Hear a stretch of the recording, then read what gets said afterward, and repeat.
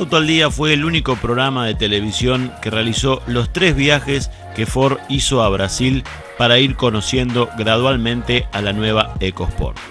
En el primero descubrimos su diseño, pero presentado con una maqueta. Luego visitamos al centro de diseño y nos respondieron todo acerca de cómo surgió el desarrollo de esta segunda generación que tomó en cuenta las necesidades no solo del Mercosur, sino también de distintos mercados y públicos a nivel mundial, aunque en principio el auto no iba a llegar a ser global, solamente para países emergentes. Finalmente viajamos para conducirla en un breve recorrido de 50 kilómetros con unidades de motor flex, que es lo que se usa en Brasil, y además de preserie. Igualmente esto le sirvió a varios medios para decir que habían hecho un test. En octubre del 2012 se mostró ya con novedades en el Salón de San Pablo. Allí lucía la caja automática y la versión 4x4. Además, para esa fecha ya se estaba mostrando en el Salón del Automóvil de París y en marzo del 2013 en Ginebra. Es que en definitiva la EcoSport con su desarrollo y diseño Mercosur llegó también al primer mundo y va a ser un producto absolutamente global de Ford. Un mes después de eso se lanzó en la Argentina, con una fallida preventa de 3.000 unidades, no porque no se vendieran, sino todo lo contrario, se agotaron en pocos días, pero demoraron meses en llegar a los clientes. Según Ford, fue por problemas logísticos. Esto demoró también nuestras chances de probarla y hoy, siete meses después del lanzamiento, podemos dar nuestra opinión tras miles de kilómetros recorridos y no unos pocos decenas en Brasil, donde manejamos a la 1.6 viajando hasta General Belgrano, Buenos Aires y con la 2 litros a Córdoba, visitando Villa General Belgrano y también las altas cumbres cordobesas ambas unidades en versión Titanium y ahora las conoceremos detalle por detalle con el estilo único y real de los test de auto. Bien, comenzamos con el análisis. La Ford EcoSport introduce lo que es el Kinetic Design 2.0, un rediseño a la línea de estilo que tiene Ford, que mantiene por supuesto los paralelogramos invertidos, pero ha cambiado la disposición en cuanto al tamaño de los mismos y el logo infaltable de la marca del óvalo en el centro, mucho cromado en estas series altas en la parrilla, tanto sea en la parte superior como en la parte inferior que tiene panal de abejas en el medio. Los faros son de policarbonato, de un diseño agradable. Hay presencia de rompenieblas de serie, que además tiene un marco cromado. Todo el paragolpes no presenta zonas para toques de estacionamiento. Esto es lo que estamos advirtiendo últimamente, lo que va a absorber pequeñísimos empujones va a ser la patente, pero si no, ya se va a estar dañando la trompa a la cual la consideramos muy expuesta. Y también aquí, en este paragolpe, tenemos una tapita que si usted la remueve es donde alojaría el gancho para remolque o para sacarlo de algún lugar donde se haya quedado encajada. La parte baja del paragolpes es de plástico negro con un generoso spoiler. 4 metros 24 de largo, 1,70 de alto, incluyendo el portaequipajes que es satinado en esta versión Titanium, y 2 metros con 52 de entreejes. Tenemos las manijas pintadas color carrocería, al igual que los espejos, que incluyen la luz de giro. Hay una zona aquí de plástico negro que también puede proteger la puerta en caso de pequeños impactos. El pilar B tiene un adhesivo al igual que el pilar A, y en lo que es el pilar tenemos un deflector aerodinámico. Vista desde atrás, por supuesto, se destaca con la cubierta de auxilio colgando del portón. Según estudios de mercado que se hicieron en el Mercosur, creemos que privilegiando más el gusto brasileño, dicen que el público cree que una EcoSport es una EcoSport con el auxilio colgando. Así que se mantuvo con respecto a la primera generación. Lo bueno al menos en estas versiones Titanium, es que tiene sensor de estacionamiento. Entonces, cuando usted va a estacionar, esto está calibrado para que la cubierta le marque el límite. Además, tiene un visor en la computadora de a bordo, lo cual va a evitar que por descuido uno golpee con el neumático el capot del pobre hombre que dejó el auto estacionado detrás. hablamos que ya el auxilio está aquí con una cubierta con llanta de igual a las cuatro titulares, lo cual es correcto. Luego tenemos una tercera luz de freno incorporada en el alerón que ya está en el diseño del vehículo, faros envolventes, cartel de Ford y logotipo EcoSport por debajo y en las versiones Titanium aparece la nomenclatura en el lado derecho del vehículo. También en los paragolpes está la tapa que al removerla usted puede poner ahí el gancho para remolque y los rompenieblas traseros. Con esta EcoSport, yendo al centro de diseño en Brasil y hablando con el diseñador, obtuvimos la respuesta a una pregunta que nos hacía mucha gente. Si la ley dice que nada puede sobresalir de la línea del auto hacia atrás, ¿cómo le permiten a las fábricas como Ford, Volkswagen, Citroën, poner un vehículo con una goma colgando el baúl? La explicación es que la fábrica determina que el largo del vehículo, en este caso 4 metros 24, es incluyendo la goma de auxilio. Por lo tanto, nada debería sobresalir del largo del vehículo. Echa la ley, echa la trampa, porque esto está sobresaliendo la línea del paragolpes. Habría que ver qué pasa si usted decide ponerle un gancho de remolque a la EcoSport, si podría ser multado por ello, porque en teoría el gancho de remolque no sobresaldría de la línea del vehículo. El cierre centralizado incluye también, como corresponde y es lógico, al depósito de combustible. Por lo tanto, no será necesario molestarse con la llave para reabastecer de nafta, en este caso al motor 1600. Tanto el 1600 como el 2 litros van a cargar 52 litros en el tanque de combustible nafta de 95 octanos. Por debajo tenemos llantas, como ya le mostramos, de aleación y neumáticos. Son de uso mixto, las conocidas Pirelli Scorpion ATR en medida 205-60-16, un neumático que algunos catalogan de ruidoso, la verdad a nosotros nos parece que cumple bien con el uso mixto. Importante destacar la presencia del doble burlete, tanto sea el que da el contorno completo al marco de la puerta, como también, por supuesto, al que está pegado en la carrocería. Esto hace que tenga una buena insonorización en ruta. El llavero es el que le estamos mostrando, tiene dos botones y también digamos que mm, es muy raro que usted lo vaya a utilizar en una versión titanium. Si usted aprieta estando cerrado el vehículo, va a destellar las balizas como para encontrarlo en la oscuridad. Si es necesario el llavero, si usted quiere acercarse al auto y, por ejemplo, al dejar apretado, van a bajar las cuatro ventanas. Esto es ideal para ventilar el auto y que el conductor o los pasajeros al subir se encuentren con un vehículo más fresco. Lo mismo, si usted quiere al cerrar el vehículo asegurarse de que las ventanas queden bien cerradas, lo podrá hacer desde la llave. Si no, directamente la llave usted no la va a utilizar porque las versiones Titanium tienen sistema manos libres, quiere decir, el vehículo está cerrado, yo me acerco, toco el botón de la puerta y ya destrabé lo que es el mecanismo de ingreso al automóvil. La puesta en marcha se hace por botón, o sea que yo cuando me bajo apago el motor con el botón, cierro apretando aquí y no necesito nunca el llavero, salvo para las circunstancias que ya le mostramos. El ángulo de apertura de la puerta es muy bueno y subimos para explicar ahora cómo obtuvimos nuestra muy buena posición de manejo. Esta es la posición máxima a la que podemos poner la butaca. Quiere decir que para una persona de 2 metros podría ubicarse perfectamente al comando del vehículo. Personas de menor estatura pueden acercar la butaca, regular la misma en altura desde este comando y también es muy bueno que la columna regula no solo en altura, sino también en profundidad. De esta forma, la posición de manejo que encontramos es correcta, con los brazos bien descansados, buen espacio para las piernas y muy buena altura de la cabeza al techo. También el conductor cuenta con regulación lumbar, que es práctico para los viajes en ruta, sobre todo en esta versión titanio.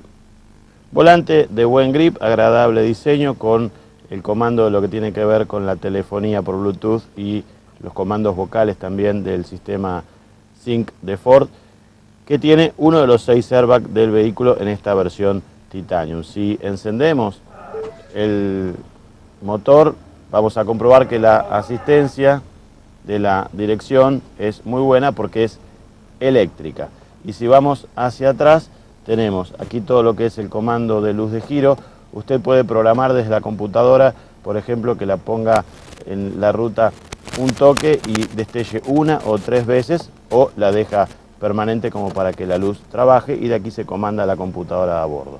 Por detrás del volante todo lo que son los plásticos tienen buena calidad percibida, digamos que a la vista quedan bien, son plásticos rígidos.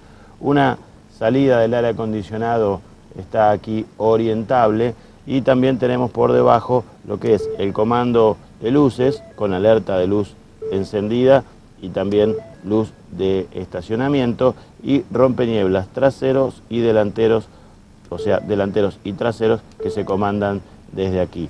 La calidad de este plástico no es buena para guardar objetos y llegar también a la computadora de a bordo. Creemos que es uno de los peores plásticos empleados dentro de lo que hace a la Ford EcoSport y también ciertos encastres no son prolijos en la terminación del vehículo. Brasil no es lo mismo que México, por más que esto sea el Sport Utility del Fiesta Kinetic Design.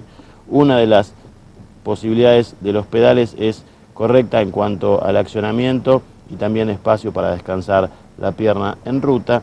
Y la alfombrita es de buena calidad, tiene ganchito para sujetar la misma y que no se desplace. Y por delante de la butaca del conductor tenemos como corresponde el lugar para el matafuegos. Uno de los seis parlantes que tiene la versión Titanium, en la gaveta tenemos también aquí un posa botellita o posa lata y aprovechado muy bien el espacio usted puede poner una botella de gaseosa de un litro y medio, va perfectamente en este lugar. Luego tenemos una plica aquí, imitación metal, parte de esto está revestido en tela y todo hecho en dos colores con una manija que tiene también un incremento en la calidad de materiales como dar un, buen aspecto. Lo mismo ocurre con los espejos que son eléctricos, el clásico comando de Ford ya muy conocido, uno de los Twitter y todos los levantavidrios tienen sistema de un toque para bajar y para subir también con el sistema de antipellizco y como ya le dijimos también se controlan desde la llave. Incluye bloqueo para los chicos. Visión general del tablero que incluye todas las luces testigos bien ubicadas. A la izquierda el tacómetro con una escala roja a partir de 6.400 revoluciones por minuto, velocímetro fácil de leer del lado derecho y por debajo en el centro la cantidad de combustible que queda en el tanque marcando de qué lado está la carga del depósito. En el centro tenemos la computadora de a bordo que marca el consumo instantáneo, también la velocidad elegida como alerta sonoro, tenemos la posibilidad de contar con el promedio de velocidad, la distancia recorrida o la distancia que nos permite recorrer, mejor dicho, con la autonomía que queda en el tanque, el kilometraje parcial y total y también el kilómetro por litro y encima, donde está la temperatura, hay una escala que marca en kilómetros por litro el consumo instantáneo como para darle una idea de economizador al conductor. Brilla por su ausencia el indicador de temperatura de agua del motor que queda con una luz azul si está frío o roja si ya es demasiado tarde. A la derecha de la columna tenemos limpia lava parabrisas, limpia la luneta, sensor de lluvia, también tiene sensor crepuscular, nosotros dijimos mal que era la luz de estacionamiento. El botón for power para poner en marcha el motor deberá apretar el embrague del auto. Si no, si usted intenta ponerlo en marcha sin apretar el embrague, se va a poner en contacto y en la pantalla le va a decir que tiene que pisar el embrague para poder arrancar el vehículo. Gracias al sistema Sync yo puedo, por ejemplo, venir manejando y apretar aquí en el volante la función teléfono. Sí, por favor, diga un comando. Teléfono. Puede decir USB, cambiar fuente, audio Bluetooth, teléfono, leer mensaje o ayuda. Bueno, teléfono. Teléfono, por favor, Diga un comando. Llamar a Pantera. Llamada Pantera. ¿Es correcto? Sí. Llamando a Pantera. Y ahí nos comunica, vamos a dar fin a la comunicación como para no molestar a Pantera en este momento. También podemos, por ejemplo, ingresar a la tecla menú y en la pantalla nos va a poner todo lo que tenemos para configurar el sistema Sync, las aplicaciones del sistema, ajustar el audio desde aquí con volumen adaptativo, el sonido, ecualizador, todo se puede manejar desde aquí. Vamos a ver lo que es ajustes del vehículo, ya que por ejemplo desde aquí se puede conectar o desactivar el control de tracción, que es importante, aquellos primeros fiestas no lo tenían, vamos a dejarlo activo. También el freno dependiente se puede conectar desde aquí. La alarma, usted puede elegir una protección total, reducida o que le consulte el vehículo cada vez que usted cierra el mismo. La indicación de cambio de carril, si quiere un destello o tres destellos cuando haga un toque en la llave. Y también configurar los tonos de las advertencias. También, bueno, por supuesto, todo lo que es el reloj se puede calcular aquí y los distintos ajustes de pantalla y poner el sistema en prueba. También el sistema Sync, que tiene por supuesto Bluetooth, lee mensajes de texto. Si usted tuviese un CD, lo carga en este lugar y aquí tenemos el cierre centralizado de puertas que se hace automáticamente en rodaje, la baliza que está bien ubicada y el resto de los comandos para todo lo que es el sistema Sync. Lo interesante es el sistema de números, ya que al conectar junto con el teléfono, no hace falta buscar el teléfono para llamar a un número, sino que usted puede hacerlo desde aquí o un acompañante puede hacerlo desde allí. Por debajo tenemos el climatizador que es automático en lo que es las versiones Titanium, incluyendo en la pantalla la posibilidad cada vez que usted haga una regulación de este sistema, se lo va a poner en la pantalla del sistema Sync en la parte superior del vehículo. Por ejemplo, la velocidad del ventilador, si usted lo quiere modificar, se va a poner desde allí, o la distribución del aire, como quiere que vaya a la cabeza, a los pies, al desempañador, o también la recirculación.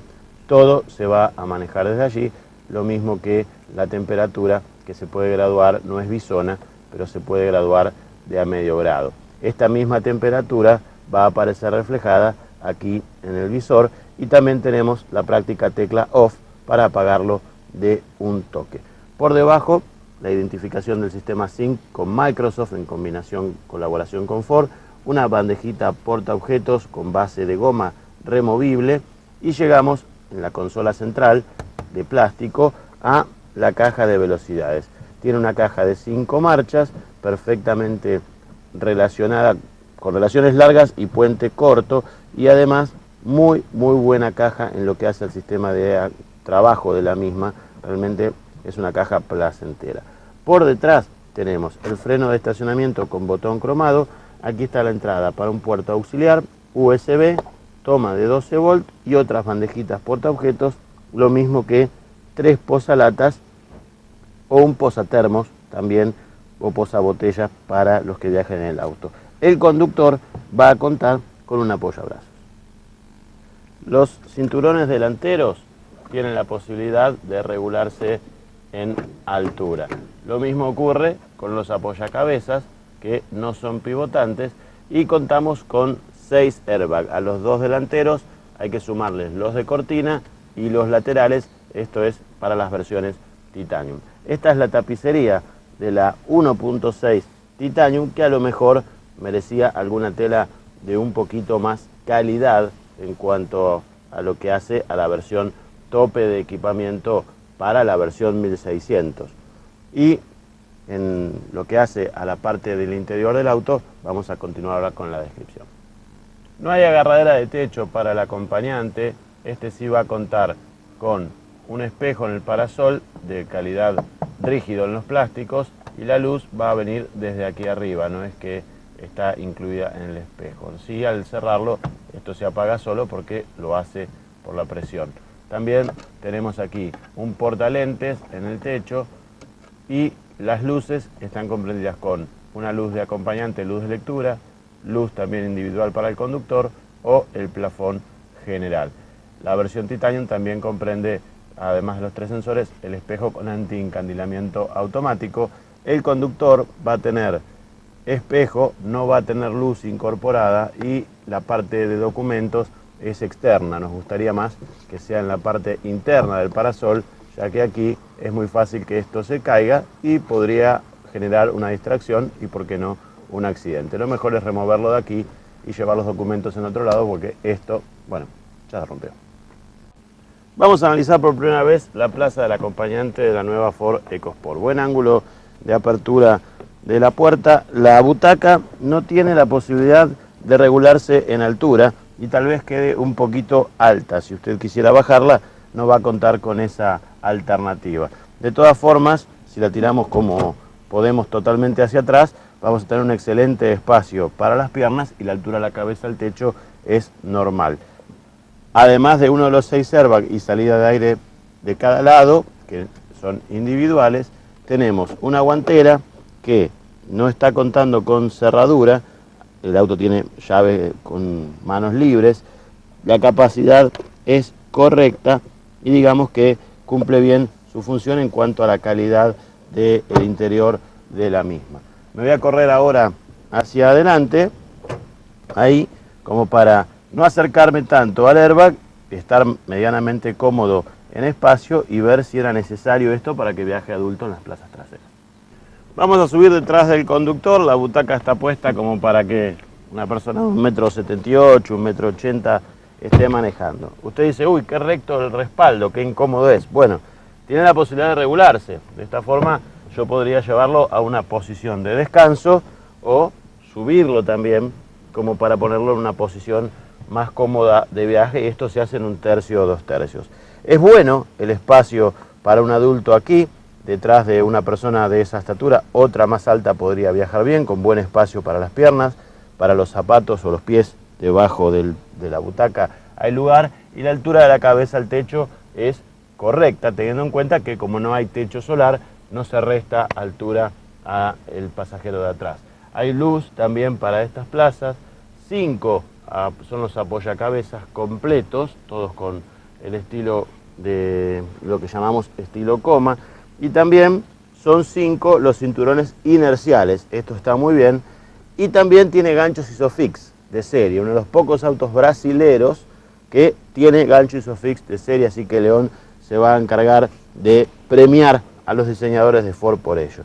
Tenemos aquí dos portamapas en las butacas delanteras, como le dijimos aquí se puede llevar alguna lata quien viaje detrás, no hay apoyabrazos y si tengo que viajar en el centro como un eventual quinto pasajero, digamos que el espacio no sobra, no tiene el ancho de un Duster, quizás porque este es un segmento B real y el Duster está como metido en la categoría, siendo una plataforma más grande, pero eventualmente un quinto pasajero adulto podría viajar, lo bueno que lo hace con seguridad, tanto sea por el cinturón como por el apoyabezas.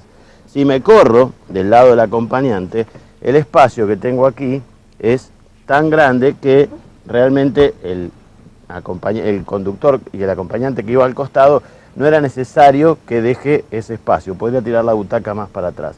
Quiere decir, la habitabilidad es un punto destacado a pesar de ser una plataforma de Fiesta Kinetic Design en la cual se diseñó por encima un Sport Utility. Y en el costado de ambas butacas tenemos bandejitas portaobjetos en el lado del acompañante trasero con una toma de 12 volt práctica para que los chicos, por ejemplo, puedan cargar aquí algunos elementos eléctricos. Nos falta por conocer el baúl. Cuando fuimos, uno de los tres viajes que hicimos a Brasil para ir conociendo la Cospor y pudimos conocer su diseño exterior, nos mostraron una maqueta. Y me acuerdo que con el diseñador viendo el auto le dije, qué bueno, ¿y dónde va a estar la manija para abrir el baúl? Y me dijo, ya está en, en el diseño, vos no la ves. Es porque está incorporada en el farol. Realmente es muy bueno, en la versión Titanium es eléctrica con solo apretar aquí porque tiene cierre centralizado. También usted puede cerrar el vehículo desde aquí. Como tiene la rueda colgando, mantiene lo que es el portón de apertura tipo tranquera. Lo bueno es que al estar asistido por un amortiguador, digamos que no es ningún esfuerzo llevar la puerta hacia su punto máximo de apertura. Lo malo de este sistema es que usted necesita todo este espacio detrás del vehículo como para poder abrir el portón completamente y poder cargar el vehículo. Lo bueno es que se abre para el lado correcto de lo que es el estacionamiento en nuestro país. Ya si hablamos del baúl propiamente dicho, Bueno, tenemos aquí la posibilidad de remover una cortinilla de una calidad muy superior a la que tenía la, viejo, la vieja EcoSport. También nosotros con la vieja EcoSport habíamos inventado el término terciadita de cajón de banana para el recubrimiento interno del protector de piso. Esto no ocurre en esta nueva, hay un avance en este sentido, ya que el recubrimiento del piso es de mejor calidad. Por debajo de este está el lugar donde van las balizas, la llave para sacar al auto de una encajada que ya le mostramos en los paragolpes y todo el sistema también de cricket está bien ubicado aquí, fácil de acceder, salvo que el baúl esté completamente lleno. ¿Qué tan lleno puede estar el baúl? Bueno, no mucho, o mejor dicho, va a estar, puede estar completamente lleno, pero no es mucho lo que puede cargar, son 360 litros, la capacidad de carga es uno de los puntos, no en contra, se puede decir, para un vehículo familiar con la, como la Cosport, que tiene la posibilidad de rebatir los asientos traseros en un tercio o dos tercios, como para de esta forma aumentar y modular la capacidad de carga, pero que si vamos a la capacidad de carga propiamente dicha, creemos que es poco para lo que es el vehículo en cuanto a una función de auto familiar, digamos, para una familia tipo. Como le dijimos, además de la 1.6 Titanium, íbamos a probar la versión Titanium con motor 2 litros. Aquí estamos en las altas cumbres cordobesas con esta versión, hasta aquí nos llegamos para probarla y por supuesto el equipamiento es casi exactamente igual. Estéticamente el único cambio tiene que ver con la sigla 2.0 en la tapa del baúl. Y en lo que hace al equipamiento que uno puede disfrutar como confort, hay un tapizado de cuero sintético o cuero ecológico que le da un realce más al interior del vehículo. En el resto es exactamente igual a lo que ya hemos descrito, más allá de las prestaciones que logra con el motor 2 litros, que por supuesto será parte de nuestro análisis. El motor más chico evolucionó del 1.6 Rocam a este Sigma un 4 cilindros de 1596 centímetros cúbicos, doble árbol de levas a la cabeza con tapa de 16 válvulas y 110 caballos DIN a 6000 vueltas y 15,6 kilómetros de torque a 4200 revoluciones por minuto. Tiene 12 caballos plus versus la anterior EcoSport.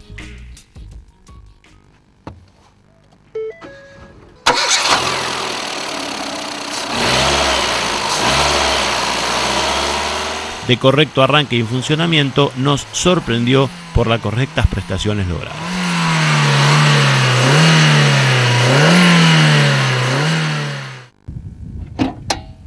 Ya el motor grande no sufrió cambios, sigue siendo el Duratec también 4 cilindros, doble árbol y 16 válvulas, pero de 2.000 centímetros cúbicos, conservando sus 143 caballos DIN a 6.250 revoluciones por minuto y con 19,1 kilómetros de torque a 4.250 vueltas. Como el 1.6 se enciende al apretar un botón cuando el equipamiento es titanio y mostró su conocido buen funcionamiento. Ambos impulsores están probados desde hace muchos años, además en los Ford Focus.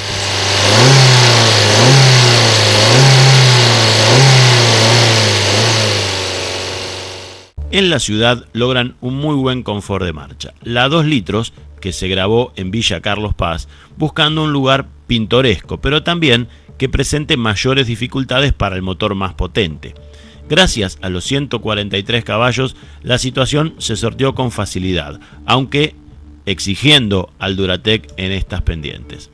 A pesar de los 20 centímetros de despeje y el correcto ángulo de ataque de 25 grados, nos tocó la trompa en una cuneta de las que no es fácil encontrar. Digamos que hay que recorrer mucho para tener esta situación.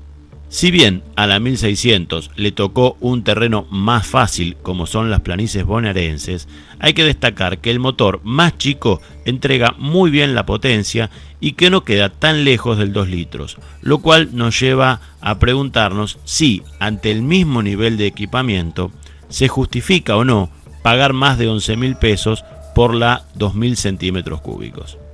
También en la ciudad el Pilar A dificulta la visión, como es habitual en muchos vehículos modernos, al doblar a la izquierda. Siguiendo con la 1600, nos fuimos a la ruta. Es buena la tenida para un Sport Utility y la dirección electrónica brinda placer y seguridad al conductor, ya que va cambiando su asistencia. Aún en curvas y contracurvas seguidas, el equilibrio logrado es muy bueno. La posibilidad de viajar a Córdoba con la 2 litros nos permitió reconfirmar todo lo mostrado por la 1.6 y además en las altas cumbres disfrutar del paisaje serrano y de un muy buen asfalto. Un lugar ideal para viajar con el motor más potente y aprovecharlo con el cambio justo. Con dos pasajeros y baúl y tanque lleno, el comportamiento fue aceptable, aunque al motor no le sobra nada para tirar a la Sport Utility de Ford por estos caminos. Hay que tener en cuenta que las relaciones de caja son distintas, más largas en la versión 2 litros. Para destacar la insonorización, tanto del viento como de ambos impulsores, y la estanqueidad, ya que no se registró ingreso de tierra o agua al habitáculo, incluso al pasar un vado a una velocidad que el común del usuario no lo va a hacer. Al día siguiente del paso del Rally Mundial por Córdoba, nos fuimos a grabar a El Cóndor Copina, histórico lugar de nuestro automovilismo en ruta y también de nuestros test, desde el número 2 en 1995 que andamos por allí. Se supone que quien compra un Sport Utility Vehicle, un SUV, va a usarlo al menos esporádicamente fuera del asfalto. El piso de tierra se encontró en un muy buen estado y la EcoSport no sufrió en lo más mínimo al transitar por estos caminos. Con la tracción delantera fue más que suficiente para trepar sin problemas. Y si bien habrá en breve una versión 4x4 en el futuro de la Eco, aún no sabemos qué sistema de tracción Ford adoptará. Lo cierto es que la Casa del Óvalo logró su objetivo de volver a tener un producto exitoso con esta segunda generación de EcoSport. La gama es enorme y aún no se ha completado. Si bien ya no es la única SUV del segmento B, hay que reconocer que estas versiones Titanium están muy por encima de las Duster Full Equipo, tanto en 1.6 como en 2 litros, con mucho más confort, tecnología y fundamentalmente seguridad. Algo que Ford sabe ofrecer y el público está sabiendo valorar. Lógicamente, todo esto cuesta y de allí los precios. La 1.6 Titanium vale 152.570 pesos. La 2 litros Titanium con la que viajamos a Córdoba, 163.960 pesos. Más cara incluso que una Duster 4x4 Lux tope de gama de Renault que está en 156 mil pesos o 144 mil la Duster tope de gama 4x2. Cada uno sabrá determinar si pone 20 mil pesos más en la Ford Titanium o busca una opción diferente, ya sea dentro de la gama de versiones de EcoSport, por ejemplo una SE 2 litros, o en otra marca y otro modelo de vehículo. Para nosotros, estas versiones Titanium probadas hoy no tienen un rival a su altura en cuanto a equipamiento, confort y seguridad. Lo mismo nos hizo notar Leoncito.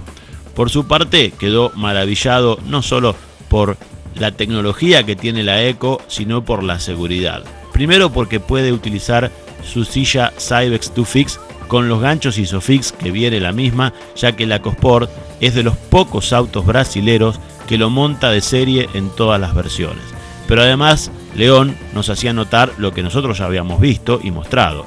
5 apoyacabezas, 5 cinturones, 5 cubiertas del mismo tamaño con llanta de aleación, ABS, 6 airbag y ESP. Realmente la versión Titanium vale lo que cuesta, según opinó nuestro mini tester. Las cifras y los puntos a favor y en contra de ambas EcoSport tras este clip.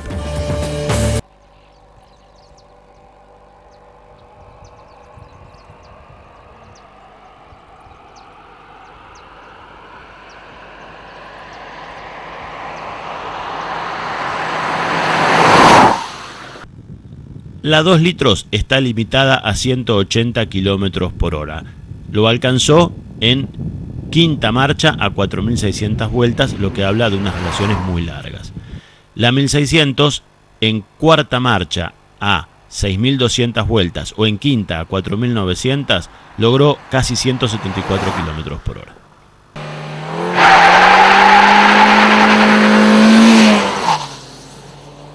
De 0 a 100 están parejas. La 2 litros no permite acelerar el motor en vacío a más de 4.000 vueltas, de allí que no pueda por ahí mejorar su registro. 10 con 10 segundos para la 2 litros y 11 con 61 para los 1600, diferencia de peso y de potencia que no se ve tanto en el cronómetro. Los 1000 metros con partida detenida, 32 con 25 y 33 con 46. Sorprende la elasticidad, sobre todo por la 1600 con las relaciones más cortas. De 40 a 100 en cuarta, 17,79 la 1600, 18,65 la 2 litros, prácticamente lo mismo. De 60 a 90, 8,35 la 1.6, 8,87 la 2 litros. Y en quinta marcha, de 60 a 90, 12,41 y 13,02, virtuales empates de 90 a 120, en cuarta 10,05 y 9,67 y en quinta recuperó más rápido la 1600, 16,27 y 17,46. Lógicamente todo tiene que ver con la relación final.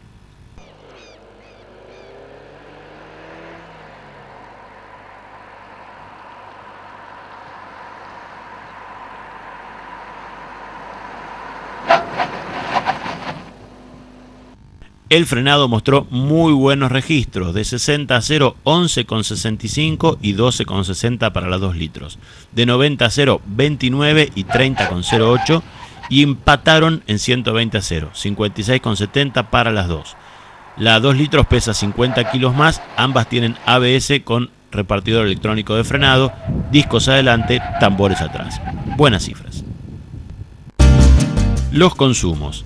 En la ciudad, la 2 litros transitó más por la ciudad de Buenos Aires y la 1600 más por el Gran Buenos Aires. Las dos sin aire acondicionado lograron 8,18 km por litro y 9,22.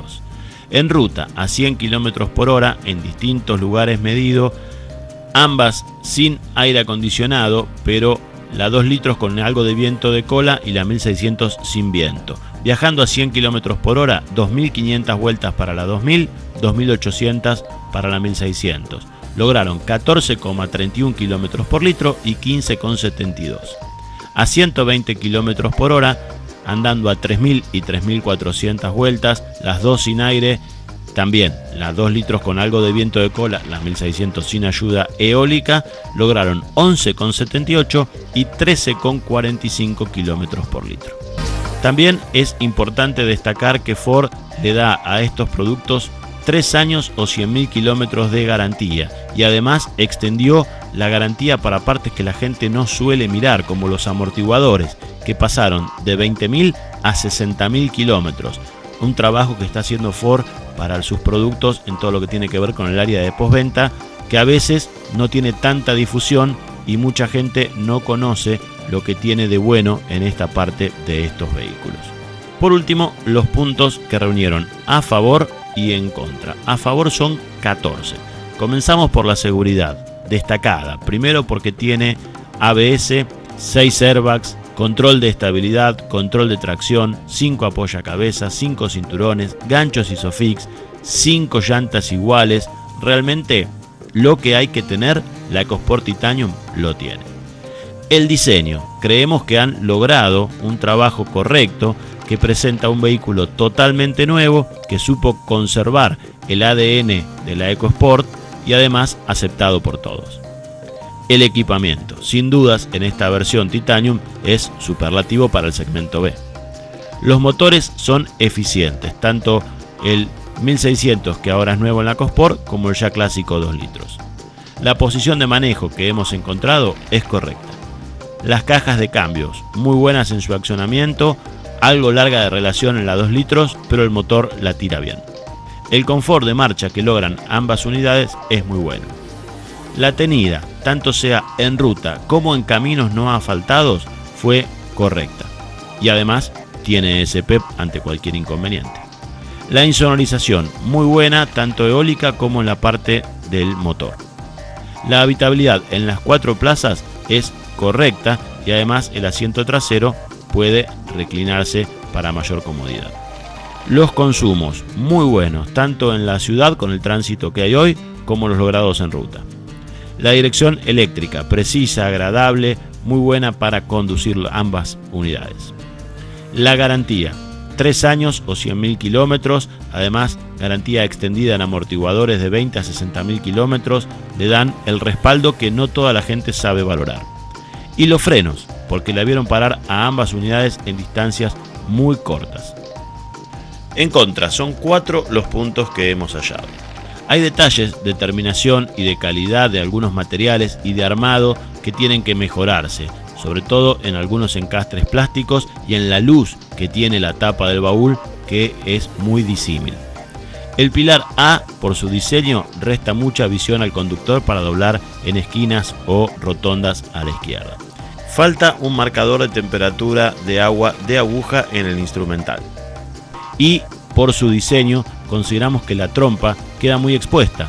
No hay ningún paragolpes precisamente, sino que cualquier toquecito de estacionamiento, alguien que dé marcha atrás, le va a dañar la trompa del vehículo. De esta forma pasó uno de los test más pedidos y más demorados en la historia de Auto al Día. Trabajamos bastante, viajamos mucho como para hacer una evaluación doble de las versiones tope de gama de EcoSport, por supuesto al estilo de nuestro programa. No fueron 50 kilómetros con un prototipo en Brasil, sino que anduvimos por la provincia de Buenos Aires, nos fuimos a Córdoba, anduvimos por todos los terrenos para dar nuestra opinión sobre la nueva EcoSport.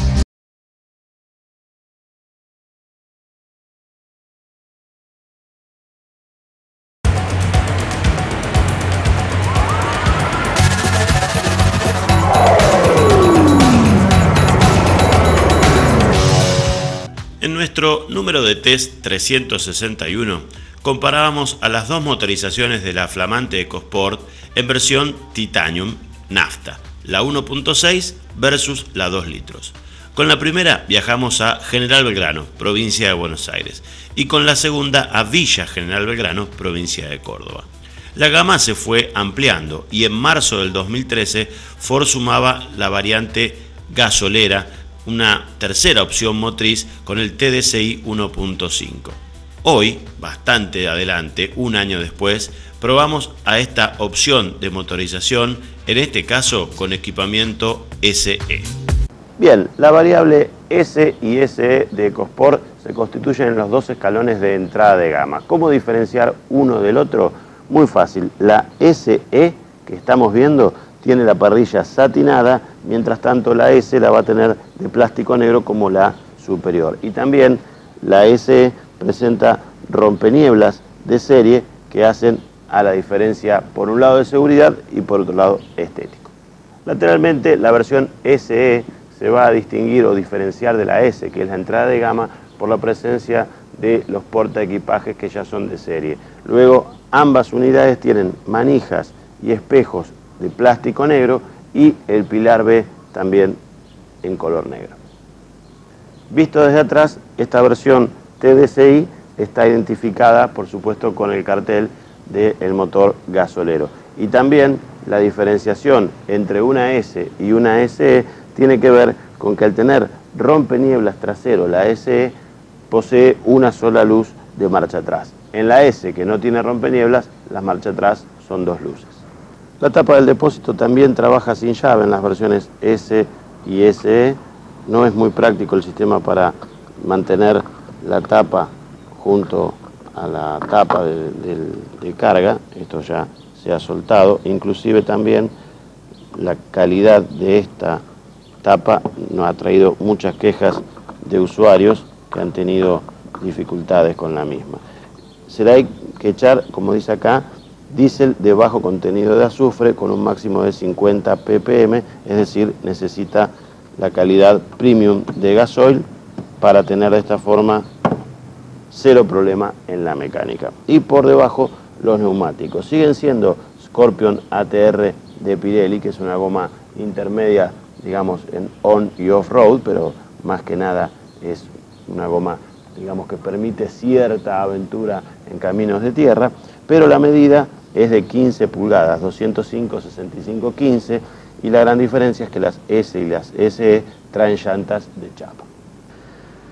Esta es la llave de las versiones S y SE. Trabaja tipo sevillana, por supuesto que no trabaja como la Titanium manos libres. Usted tiene la posibilidad de ubicar el vehículo cerrado con el destello de las balizas, apertura de puertas, pero tampoco tiene el global closing, es decir, la posibilidad de comandar los vidrios para bajar y subir las ventanillas desde la llave.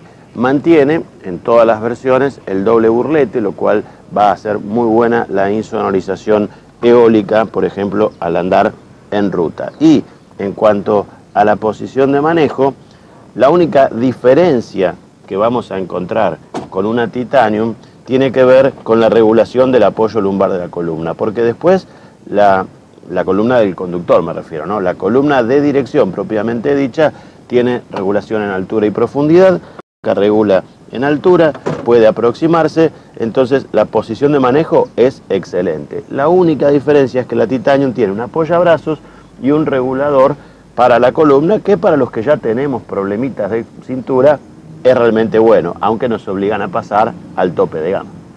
Otras diferencias que vamos a encontrar tiene que ver en el panel, por ejemplo, la puerta del conductor. Las SE y S tienen cuatro parlantes, uno de ellos ubicado aquí. Todo esto es de material plástico, salvo esta parte que tiene un pedacito recubierto en tela. La SE que estamos probando tiene cuatro levantavidrios eléctricos. La S, que es la entrada de gama, carece de levantavidrios traseros, que aquí están presentes con bloqueo para los chicos. El único que tiene sistema de un toque y para descender es el del conductor, el resto para bajar y para subir hay que mantenerlo apretado. Sí es de serie en ambas versiones los espejos eléctricos en ambas unidades y la manija de puerta es de color negro. El volante sigue siendo de tres rayos, buen grip, íntegramente de plástico y uno de los dos airbags que ya son obligatorios por ley de serie en el vehículo. Luego aquí el comando satelital de todo lo que tiene que ver con el equipo de audio y el sistema Sync para comandar por voz, por ejemplo, todo lo que es telefonía. Por detrás, todo lo que es plástico sigue siendo rígido, esto no hay diferencia, hasta la versión Titanium es igual. Si usted compra una versión SE, le va a venir con estos comandos rompenieblas que carece de los mismos la versión S entrada de gama porque como le decíamos no tiene ni delanteros ni traseros. Tiene alerta también de luces encendidas como estamos escuchando. Por debajo, por supuesto que la tapa plástica de esta gaveta sigue siendo un tema de calidad mejorable en EcoSport y tiene presencia de una alfombrita de buena calidad con un ganchito para evitar que se desplace la misma y así evitar accidentes y aquí está el matafuego muy bien ubicado por debajo de la columna del conductor seguro y rápido de ubicar el instrumental no presenta cambios en su diseño. Lógicamente el tacómetro tiene escala hasta 5000 porque es gasolero y aparecen algunos ideogramas propios de los motores turbo diésel. Son solo tres marcadores de aguja sin presencia de marcador de aguja para la temperatura de agua del motor que queda limitado a luces rojas o celestes si está frío. En lo que hace a la parte digital hay solamente un indicador de consumo instantáneo que se mueve una rayita por allí y un odómetro total o parcial. Carece de computadora de a bordo. Vamos a encender por unos instantes al motor turbodiesel, para eso hay que tener el embrague apretado, para mostrar que la dirección sigue siendo la eléctrica de Ford, una preciosura, a pesar de ser la versión más básica, ya viene de fábrica con esta dirección.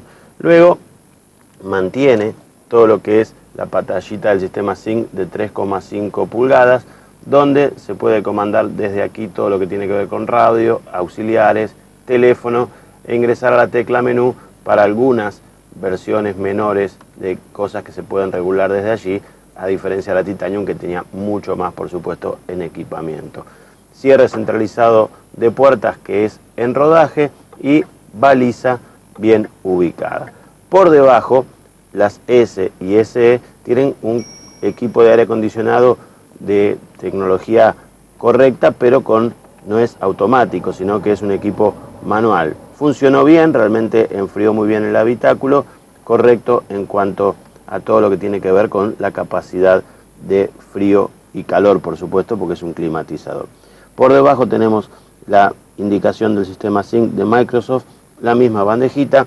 La caja de 5 velocidades es correcta, aprovecha muy bien el torque. Hay que decir que el motor gasolero es el de más alto torque entre las tres opciones que tiene la EcoSport. La caja lo aprovecha bien y tiene un paso de cambios correcto, como en la mayoría de las cajas de Ford que realmente se destacan por eso. La misma terminación plástica aquí, la entrada de 12 volt, la entrada de un puerto USB y auxiliar y luego no hay detalles cromados en los frenos de estacionamiento, pero mantiene las tres ubicaciones para llevar botellitas, por ejemplo. Los cinturones delanteros no son pirotécnicos, tienen regulación en altura también en estas versiones, lo mismo que los apoyacabezas, que son cinco. La tapicería, no se destacó la Titanium por una tapicería en la versión 1600, por supuesto estas S y SE tampoco se van a destacar. Esta es la rústica que se banca el maltrato, eso es tal vez lo más importante. El segundo y último airbag de serie, por debajo tenemos la guantera que no tiene llave, no tiene luz, capacidad ideal para llevar aquí los manuales y luego queda un espacio lógico dentro de la misma. Si esto no le alcanza, por debajo de la butaca hay un cajoncito que según indica aquí tiene una capacidad máxima de un kilo de peso. El parasol del conductor sigue teniendo por supuesto una mala ubicación para el portadocumento, esto debería ser interno, pero por lo menos en esta versión no se rompió como ocurrió en la Titanium. Tenemos también aquí un espejito, aunque no hay luz para el conductor. Es bueno que todas las versiones de entrada de gama tengan luz individual para conductor, el acompañante o un plafón general de luces. El espejo no tiene antiencandilamiento automático y lo que hace al parasol es de una calidad mejorable ya que no siempre cierra, hay que buscarle el punto y no queda bien el diseño del mismo. Tenemos para el lado del acompañante un espejito con tapa y luz incorporada aquí. También estas versiones como carecen de airbag laterales ofrecen la agarradera de techo que las Titanium no traen con un retorno suavecito. No vamos a analizar la habitabilidad de las plazas traseras porque por supuesto es igual a la variable Titanium. Sí, lo que hay que decir es que por más que sean las versiones de entrada de gama, mantienen los respaldos que pueden regularse en distintas posiciones. Esto le da la posición de descanso, por ejemplo, a un adulto o aumenta la capacidad de carga del baúl. También se rebaten en un tercio o dos tercios. Lo más interesante y lo que hay que aplaudir realmente es las medidas de seguridad. La EcoSport en todas sus versiones tiene cinco apoyacabezas, cinco cinturones inerciales y ganchos ISOFIX de serie con sistema latch para anclaje de butacas de chicos o bebés.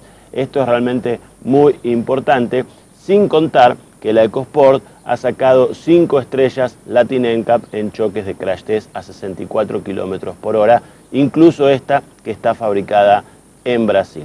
Otra diferencia es que en la bandejita que vemos aquí al costado de los asientos se ha perdido la toma de 12 volt que trae la Titanium, pero tiene la luz trasera que se mantiene. Lo que se mantiene en toda la EcoSport es la luz de puerta del baúl, que realmente es mucho más allá de la tolerancia permitida para la industria, ¿no? O sea, aquí hay mucho más que un par de milímetros. El sistema de apertura del baúl sigue siendo eléctrico con la puerta tipo tranquera y la misma capacidad de carga con la misma calidad de los elementos, muy mejorado con respecto a lo que uno está acostumbrado que vengan los vehículos B de Brasil. Capot sostenido por varilla metálica. Bajo él el 4 cilindros Duratorque de origen europeo montado en Brasil para la exportación. 4 cilindros, 1499 centímetros cúbicos, inyección directa, common rail y turbo, un árbol de levas a la cabeza y 8 válvulas, generando 90 caballos DIN a 3.750 revoluciones por minuto, es decir, 22 caballos más que el 1.4 TDSI del anterior EcoSport y un torque de 20,8 kilogramos entre las 1750 y las 2500 vueltas. Excelente cifra, superior incluso al motor 2 litros naftero en torque.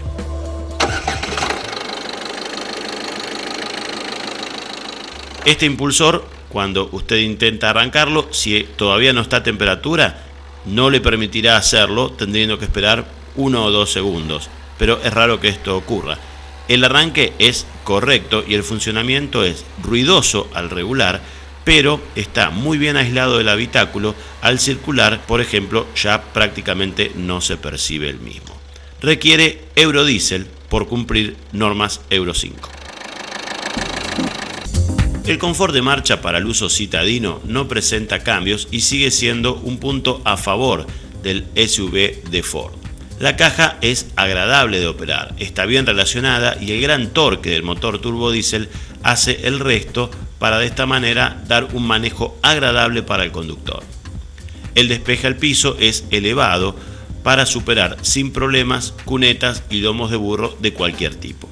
El pilar A es un problema para la visibilidad del conductor al doblar a la izquierda en esquinas o rotondas, pero lo invitamos ahora mejor a subir y viajar con nosotros en la TDCI. Seguramente si un usuario de la EcoSport Turbo Diesel anterior, la 1.4, se sube a esta nueva EcoSport, va a quedar gratamente sorprendido por la diferencia del vehículo, pero también por la diferencia del motor. Los 90 caballos se dejan sentir y van a ser realmente muy importante la mejora que va a notar en el andar.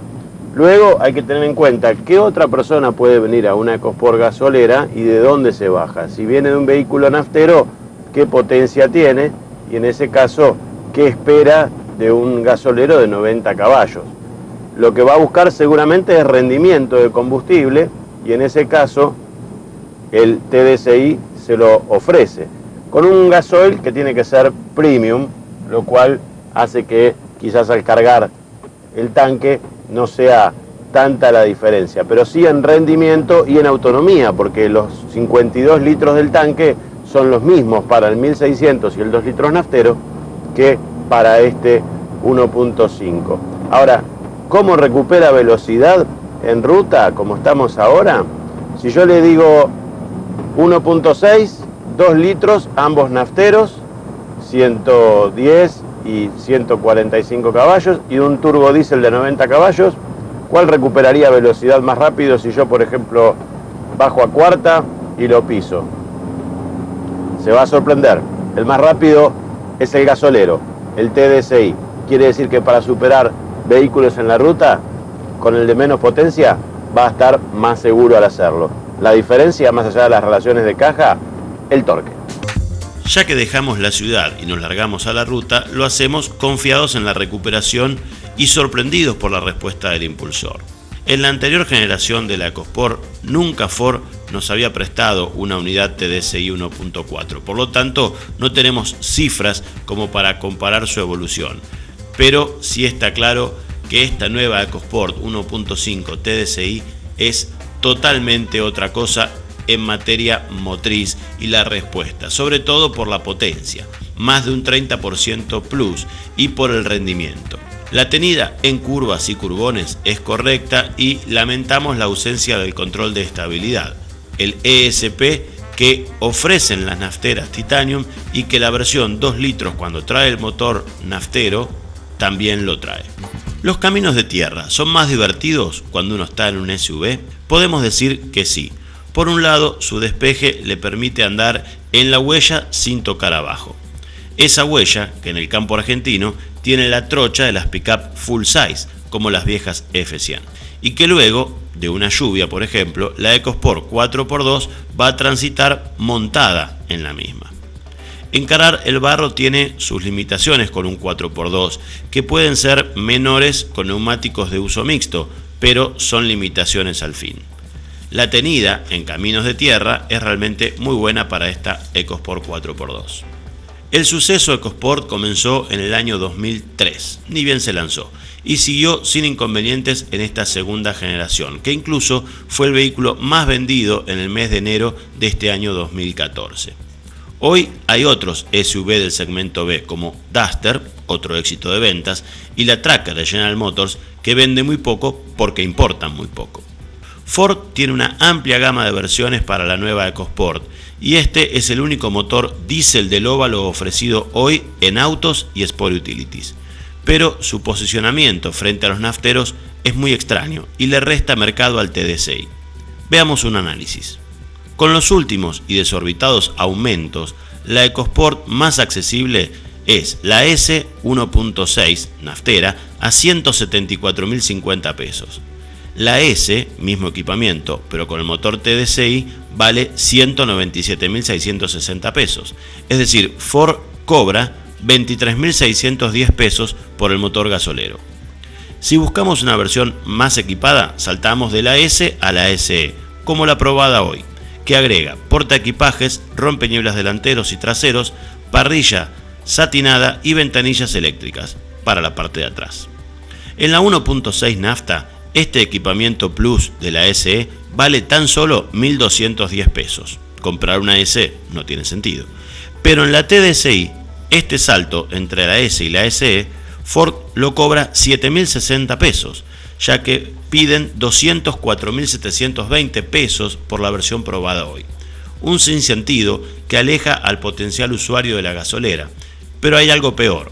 Por menos dinero de una TDCI S, es decir, por 195.710 pesos, Ford le ofrece a la EcoSport SE con el motor naftero 2 litros que agrega no solo el equipo mencionado, sino que incluye control de estabilidad, control de extracción, asistente al frenado en pendientes y frenos con EBA. Es decir, hay que ser un fanático de la gasolera para hacer muchos miles de kilómetros y de esta forma amortizar la diferencia. No dejarse tentar por la seguridad y motorización 2 litros de la SE con el plus de seguridad a menos valor que una STDCDI parece que no tiene sentido. Las cifras, los puntos a favor y en contra, tras este clip.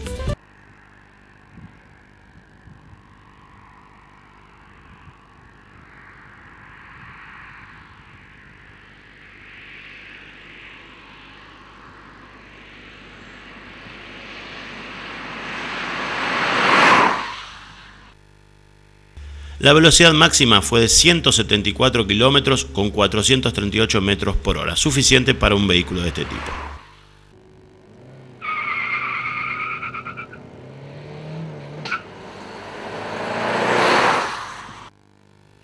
De 0 a 100 aceleró en 13,33 segundos y los 1000 metros con partida detenida 35,50 segundos. Muy buenas cifras de elasticidad. De 40 a 100 en cuarta, 17,31 segundos. Entre un segundo y algo menos comparado con los nafteros. De 60 a 90 en cuarta, 8,27 y en quinta, 10,89. Un segundo menos que las nafteras.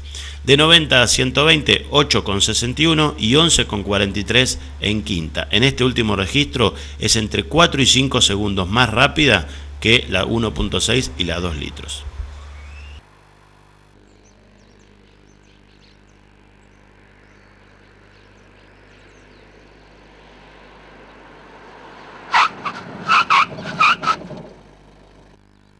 El frenado. Hay que tener en cuenta que la gasolera es más pesada que una versión igual naftera. De 60 a 0, 16,11 metros. De 90 a 0, 33,07. Y de 120 a 0, 55,12. Las cifras son correctas.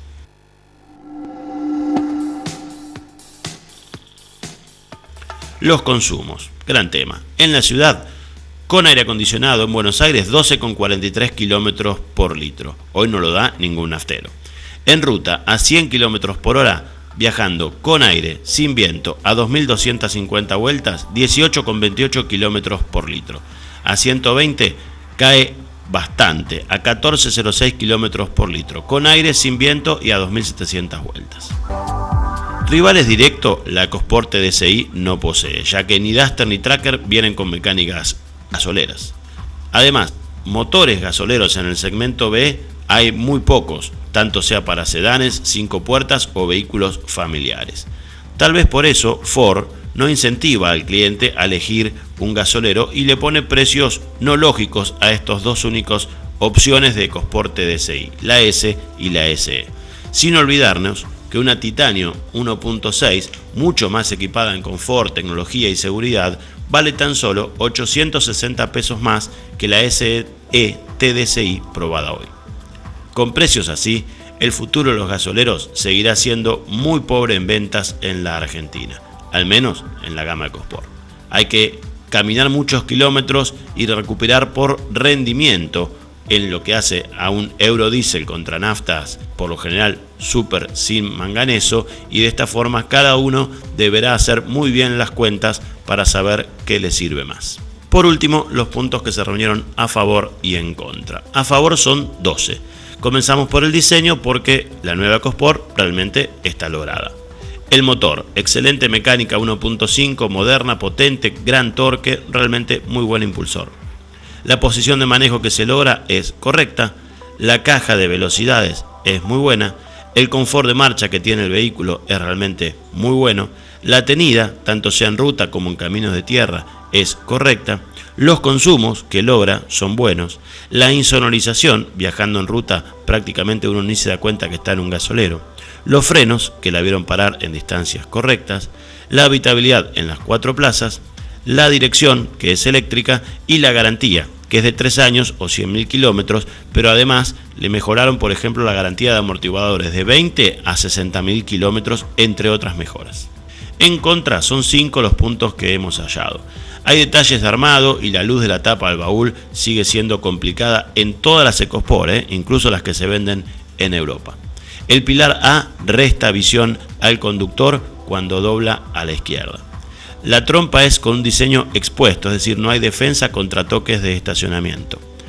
Falta un marcador de temperatura de agua del motor que funcione con una aguja, no lo tiene ni siquiera de manera digital. Y los precios son ilógicos, más allá de los costos de los autos luego de la devaluación, la diferencia que hay que pagar por esta versión TDSI en relación a las nafteras y de equipamiento no tiene sentido. De esta forma pasó un nuevo contacto en la historia de Auto al Día, en este caso el de la EcoSport SE TDC.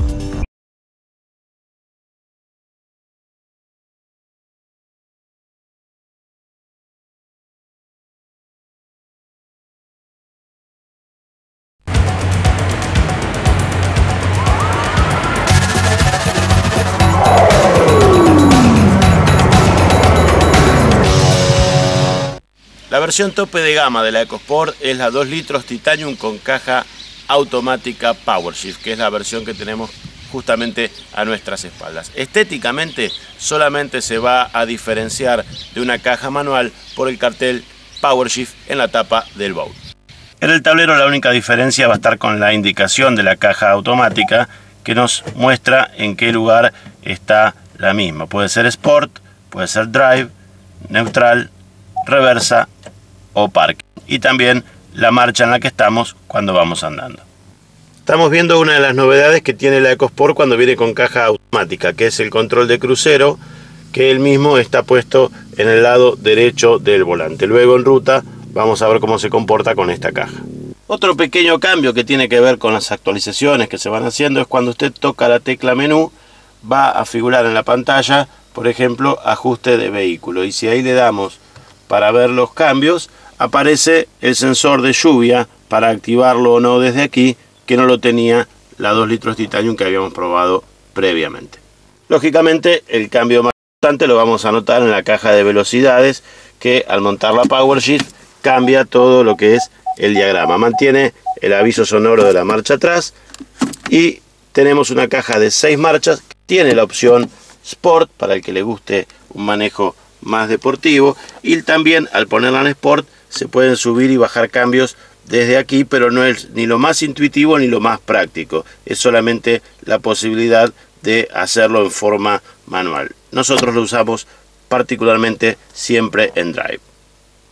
También las nuevas líneas de EcoSport han incorporado un sensor para el cinturón del pasajero que antes era solo el del conductor que alerta que el mismo no está conectado cuando el vehículo está en movimiento.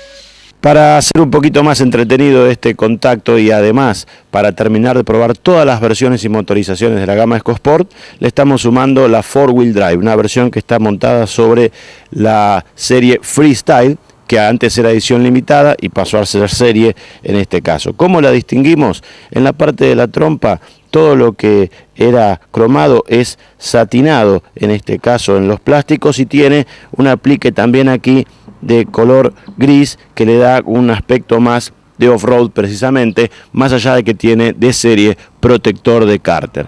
Los ángulos de ataque, salida y ventral son los mismos que tiene cualquier otra versión, ya que el vehículo no hace diferencia en esto. Lateralmente es más fácil distinguirla. Por un lado, la sigla 4-wheel drive en las puertas. También los espejos están pintados en color satinado. Las manijas son negras, no están pintadas color carrocería como la Titanium. Y el porta equipajes también está pintado en color gris. Y esta versión trae de serie las barras en el techo que las demás no ofrecen. Para distinguir a la 4-wheel drive desde atrás es también sencillo. Dice freestyle como versión, four wheel drive para identificar que es la 4x4 y la identificación como nos gusta de la cilindrada del motor. Conserva los sensores de estacionamiento para no pegarle a nadie en las maniobras retroceso con el neumático que cuelga y las llantas también son de este color que Ford denomina Accent Color, es decir, cambian el diseño específico, vienen con bulón de seguridad y son pintadas como en un gris grafito. Además, tenemos también este aplique gris que distingue a la versión four wheel drive, pero lo más importante para los más observadores es ver el tren trasero, porque esta versión monta el Multilink, aquel que traía la EcoSport anterior y que montaba originalmente la Ford Escape o la Mazda Tribute, es decir, un sistema mucho más sofisticado para este vehículo. Ya estamos en el interior y por supuesto al no ser titanium carece de la apertura manos libres o encendido también por botones, más tradicional. También si la ponemos en contacto vamos a ver que tiene pantallita de 3,5 pulgadas con el sistema Sync, que eso lo trae también de serie, conserva los 6 airbags también como medida de seguridad y el ESP. No tiene climatizador, estamos con el tradicional aire acondicionado manual y aquí debajo está la tecla 4 Wheel Drive que es la que bloquea el sistema de doble tracción en caso de tener que ingresar a algún terreno y ya tener la disposición casi un 50 y 50. Pero la gran diferencia está aquí. Caja de 6 marchas. Esta es la única EcoSport que tiene caja manual de 6 velocidades. Esto aprovecha mucho mejor el torque y la potencia del motor. La caja es excelente y además eh, aprovechamos por supuesto mejor para relajar el motor en ruta. Uno de los puntos más destacados junto con el sistema de tracción y el multilink para esta versión.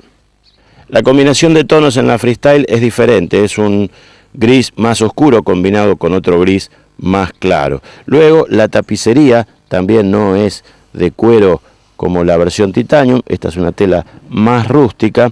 Ford indica en la página que estas butacas no tienen portamapa, pero nuestra unidad la tiene, y también dice la página de Ford que esta versión 4x4 tiene cuatro manijas de agarre interno, lo cual sería buenísimo, porque uno en el off-road necesita agarrarse, pero la unidad no la tiene. Suponemos que es un error de la página y por supuesto no de armado del vehículo. Conocidas las diferencias de equipamiento, Pasemos al análisis en la ciudad. La EcoSport automática no presenta diferencias en su andar con respecto a las suspensiones en relación a las demás EcoSport probadas. Lo distintivo está lógicamente en la transmisión. La PowerShift es una caja manual de sexta con embrague doble robotizado que tiene un paso medianamente rápido de marchas y que las mismas además están bien escalonadas. Subamos a la Ecosport automática para ver cómo anda en ciudad. Movemos desde parado en la ciudad como si arrancáramos en un semáforo y lo que notamos es con la caja automática en drive un paso rápido de marchas. Recordamos que esta Power Shift es una caja de doble embrague robotizado sobre una caja convencional manual y el, el sistema de paso de marchas es tal vez un poquito más rápido o se lo siente menos lento en lo que hace el tránsito de ciudad a lo que fue el test del Ford Focus. Las cajas PowerShift no son todas iguales, hay una diferencia cuanto más alto es el valor que usted paga por el vehículo.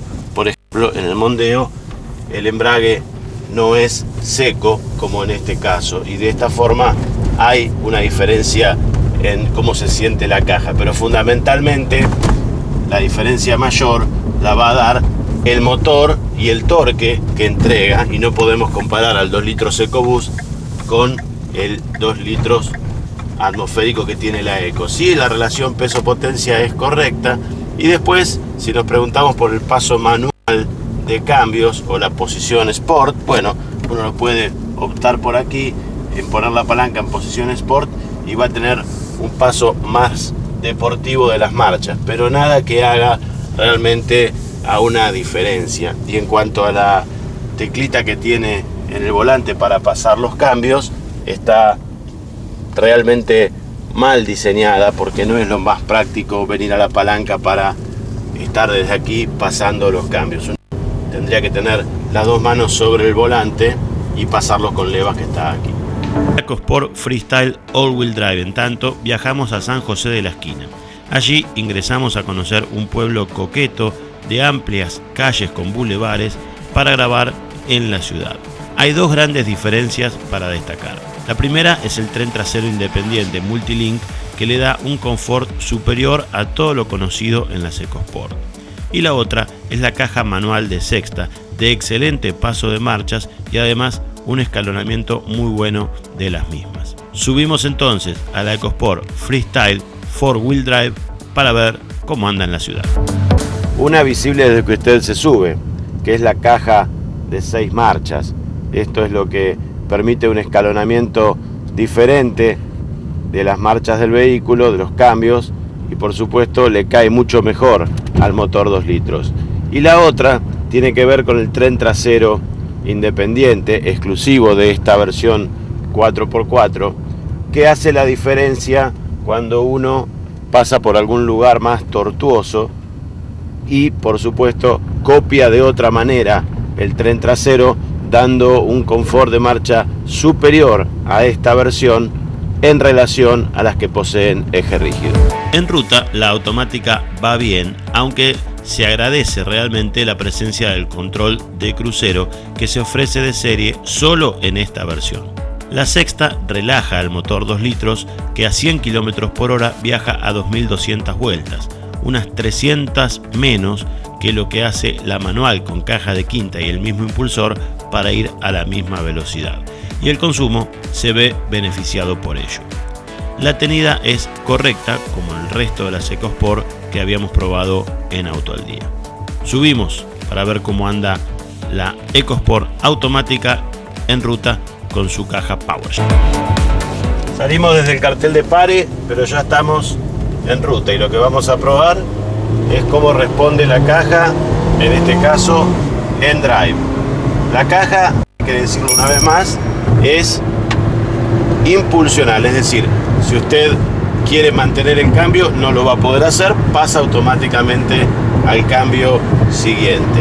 Y la relación es más larga con esta sexta automática que la quinta en caja manual. Vamos a adelantarnos ahora a uno de los pocos camiones que anda en ruta un domingo donde en una hora y media juega Argentina la final del Mundial y podemos hacerlo fácilmente teniendo en cuenta que ahí ni siquiera hemos bajado un cambio, fue solamente pisar y el auto respondió muy bien. El motor 2 litros tiene potencia, tiene torque, a pesar que en la elasticidad, como habíamos demostrado, la versión con el motor turbo diésel es la que más rápido reaccionaba. Ahora, otra cosa es, aprovechando que tengo otro camión, si yo quiero manejar en forma manual. En este caso, por ejemplo, ponemos la caja en drive, ahí lo rebajé a cuarta, tercera, innecesaria, vamos a dejarlo otra vez la cuarta, y lo piso a fondo. Y al llegar al límite de vueltas, pasa sola al cambio superior. Es decir, esto no nos va a ayudar mucho y como siempre decimos, es mejor trabajar en drive. Salvo que usted venga con un remolque, que usted esté transitando en algún camino de montaña, ahí sí a lo mejor la caja puede ser importante. Y otro tema para tener en cuenta es el control de crucero. Nosotros lo encendemos desde aquí y lo vamos a setear ahora a 100 kilómetros por hora de velocímetro. Luego, si yo por ejemplo tengo que detenerme, por ejemplo, para ingresar aquí a, la entrada de Godoy, vamos a hacer las cosas como corresponden, dejamos pasar a los autos. Bueno, doblaron, así que vamos a seguir derecho. Yo ahí acelero, la caja es rápida en el paso de marchas, pero una vez que yo ya vengo, por ejemplo, estabilizado, le doy resumen y ya suelto el acelerador y esto me va a llevar solito hasta los 100 kilómetros por hora. Es decir, es una ventaja que no sabemos por qué Ford la ofrece solamente en la caja automática, porque es muy práctico para circular en ruta a una velocidad pareja y sostenida. La única versión 4x4 de la EcoSport hace en ruta una gran diferencia. La caja manual de 6 marchas escalona mucho mejor la potencia y torque del motor 2 litros. También viaja más relajado, pero las dos diferencias fundamentales son la tracción 4x4 on demand, que da un plus de seguridad, y el tren trasero multilink, que nos permite viajar con más confort y doblar con mucha más seguridad y más confianza. Es claramente otro auto con este tren sin olvidarnos del ESP que es de serie desde las versiones SE 2 litros en EcoSport. En la Tierra hay claras diferencias. La automática no deja de ser un SUV 4x2. Buen despeje al piso y robustez estructural le permiten al conductor transitar por la tierra o ripio con cierta tranquilidad y el ESP es el responsable de brindárnosla. Con la 4x4 es otro cantar. La seguridad que el sistema da al conductor es otra. Se puede viajar más fuerte con la tranquilidad que el sistema entrega además todo lo que tiene que ver con la tenida plus que le da el multilink y la tracción bajo demanda. El ESP también está presente por supuesto.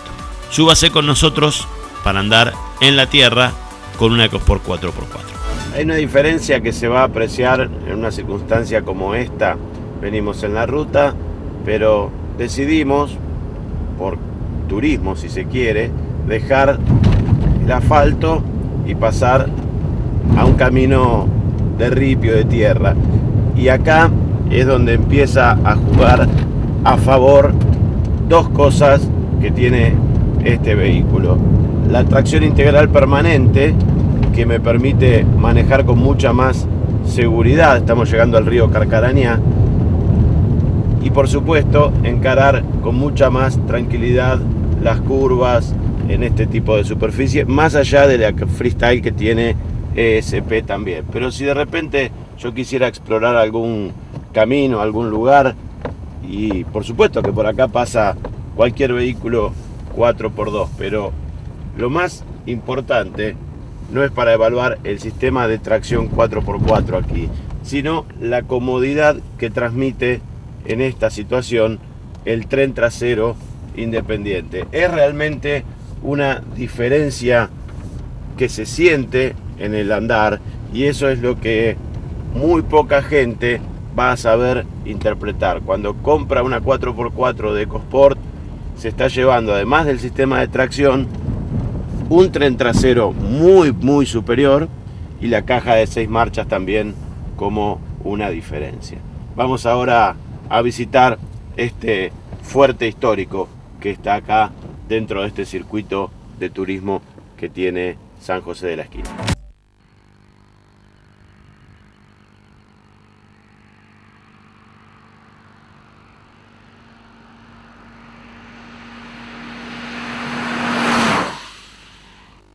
La velocidad máxima de la Titanium automática fue de 180 km con 106 metros por hora.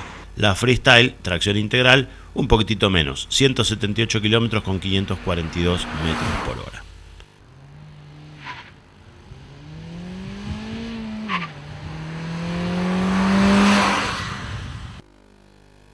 Parejas en aceleración. La automática logró mejor registro con 10,27 segundos. La freestyle 10,79 puede deberse a un mayor peso de la tracción integral. Los 1000 metros con partida detenida 32,76 y 33,44 para la 4x4. La elasticidad. La freestyle con la caja manual logró muy buenos registros, de 40 a 100 en cuarta 16,54, de 60 a 90 7,59, 11,64 y 15,10 en sexta, y de 90 a 120 8,84, 13,95, 17,69 en sexta. La Titanium, gracias a rebajar cambios con el kickdown, de 40 a 100 8,22, de 60 a 90 5,29 y de 90 a 120 5,93 segundos.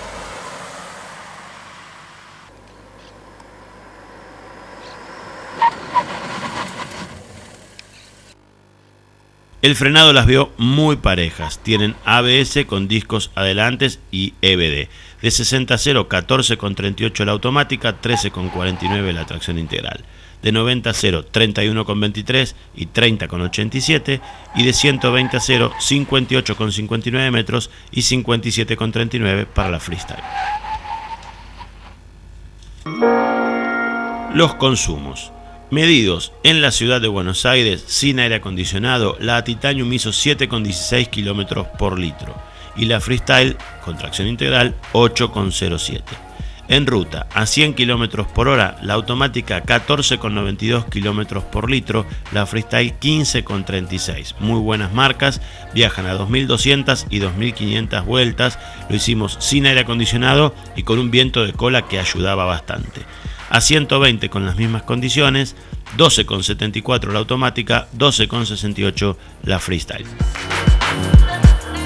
Estas dos versiones de EcoSport no pretenden aportar grandes volúmenes a las ventas del SUV líder del segmento, sino que su objetivo es aportar variedad, complemento de gama y cubrir todas las opciones que un consumidor que busca una EcoSport pueda pretender.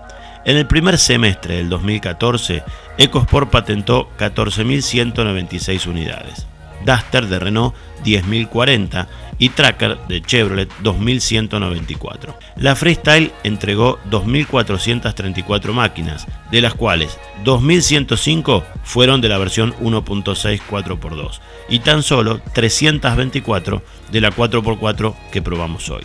La Titanium en el primer semestre patentó 3.642 unidades, 1.877 fueron 1.6, 1.240 2 litros y tan solo 525 automáticas PowerShift como la que probamos hoy.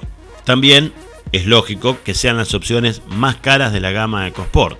Ambas cuestan lo mismo, 241.130 pesos al borde de tributar el impuesto al lujo en el primer escalón.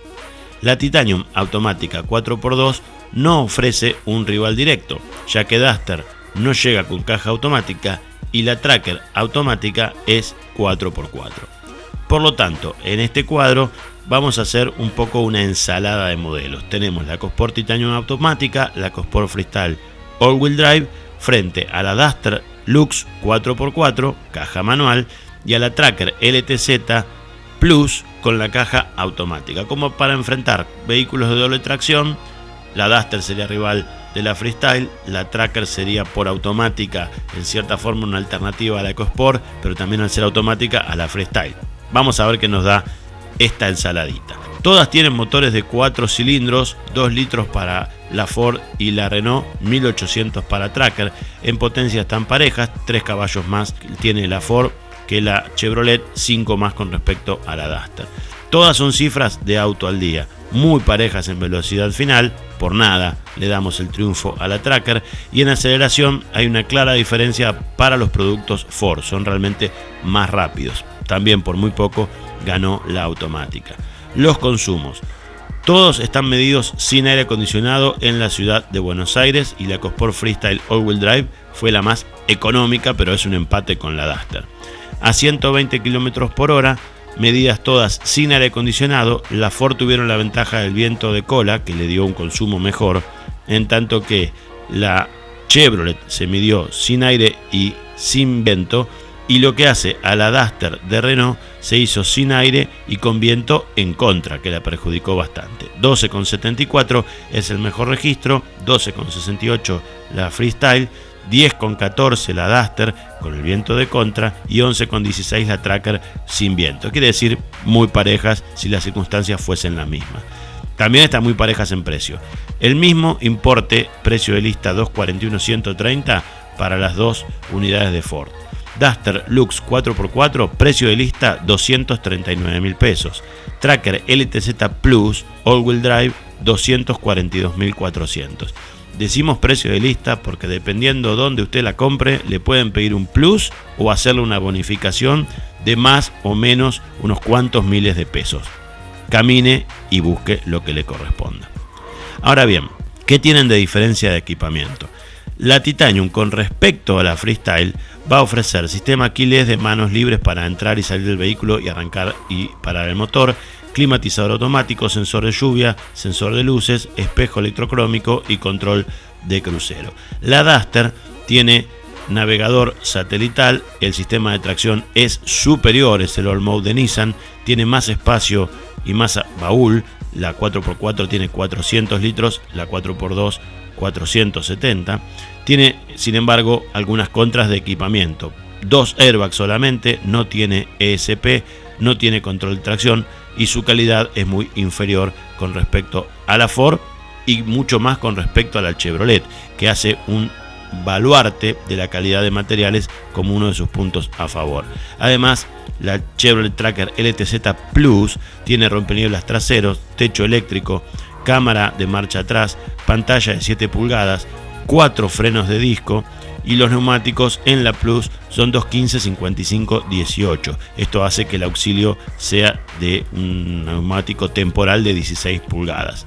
Lo que no nos gusta es que su tablero tiene solo una aguja. Por último, los puntos que se reunieron a favor y en contra. A favor son 14. Comenzamos por el diseño, que sigue siendo muy agradable, la seguridad disponible en este nivel de EcoSport, el equipamiento que ofrecen ambas unidades, particularmente la Titanium, la motorización es muy buena, la posición de manejo también, la insonorización, con las sextas, incluso los motores van más relajados en ruta, buena habitabilidad en las cuatro plazas, la dirección eléctrica, la garantía de 3 años o 100.000 kilómetros, los frenos la ven parar bien y el consumo en ruta es muy bueno. Los últimos tres puntos a favor tienen algún plus para la 4x4. Las cajas son buenas las dos, pero nos gusta más la manual de sexta que tiene la Freestyle. El confort de marcha en las dos, pero es muy superior en la 4x4 con el eje trasero multilink. Y la tenida en ruta y caminos de tierra es buena en las dos, pero es muy superior en la 4x4 por sus suspensiones. En contra son cuatro los puntos que hemos hallado. Sigue teniendo detalle de terminación y armado mejorable, el pilar A que resta visibilidad cuando se dobla en esquinas o rotondas a la izquierda, la trompa por su diseño queda muy expuesta, no tiene un paragolpes que la defienda y no tiene temperatura de agua del motor. De esta forma pasó un contacto con las dos versiones que nos faltaban probar de toda la familia EcoSport. No son las que más venden, pero sin dudas son las más interesantes.